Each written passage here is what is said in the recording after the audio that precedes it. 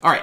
This is the UniFi Switch Aggregation, model USW Aggregation, and it's a 10 gigabit switch that's kind of flown under the radar. At 269 bucks, the Switch Aggregation is a layer 2 switch featuring 8 10 gigabit SFP plus ports for 160 gigabits worth of total switching capacity. It has the same 1.3 inch touchscreen display as most of the UniFi switches, and it can also be used with 10 gig Ethernet transceiver modules for wiring in up to four 10 gig ethernet devices. Now, this switch is completely fanless, making it super quiet, and it's a shallow 4.7 inches deep and only draws 30 watts of power max. So be sure to check out the switch aggregation. It's a versatile and relatively inexpensive 10 gig switch for super fast connectivity to other switches or 10 gig devices.